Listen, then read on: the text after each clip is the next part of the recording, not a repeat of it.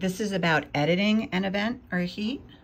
So right down here, so right now I have the girls uh, 200 freestyle relay and I want to get it back to um, event number one, heat one. So I'm going to go here to edit event.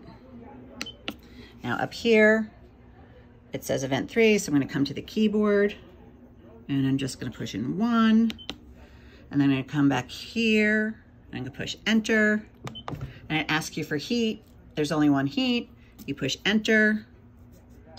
And now if you look right here, it's gone back to where we need to be.